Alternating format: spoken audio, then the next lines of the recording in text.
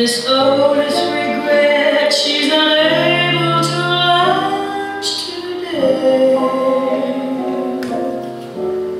She is sorry to be delayed, but last evening down in Lover's Lane she strayed. Madam, Miss Otis regrets she's unable to lunch today. When she woke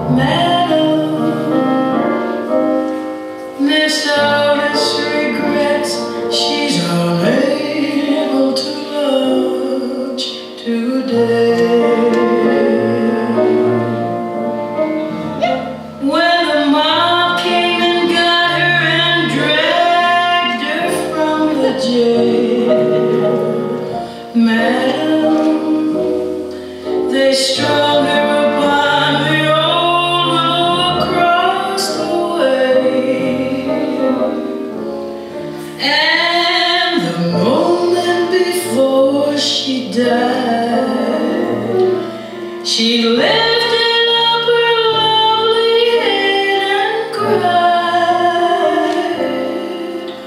Man